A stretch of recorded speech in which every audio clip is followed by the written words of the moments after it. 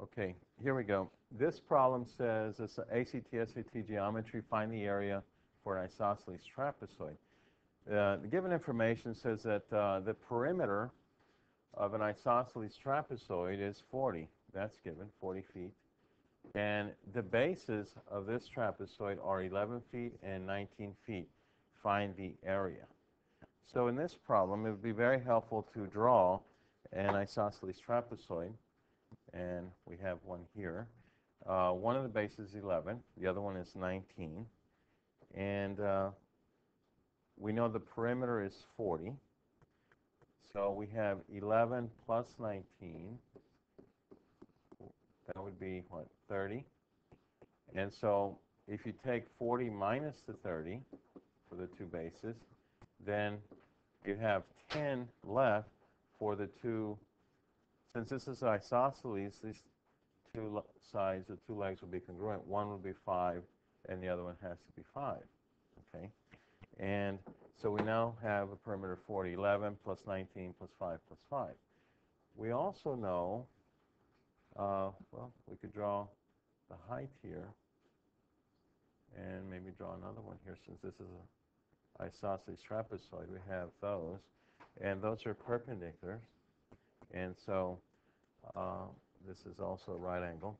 Now, if we subtract 19 minus 11, 19 minus 11, that is 8. And so we have 8 extra feet for the bottom base, so that means you have 4 here and 4 here. And uh, of course, this is 11 here, the same as the top. So if this is 11, then this is 11. If you want to find the area for this, uh, we could find uh, the height. This would be the height. And we could find the height using the Pythagorean theorem.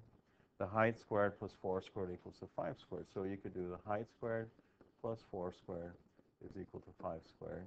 And if you're familiar with the 3, 4, 5 right triangle, I think you already know that the height has to be 3 in this problem. So the height is going to be 3. If you didn't know 3, 4, 5 is a Pythagorean triple, then you could do 25 minus 16, and you're going to get that the height squared is equal to 25 minus 16, which is 9. And so h would be the square root of 9, which is 3. Okay?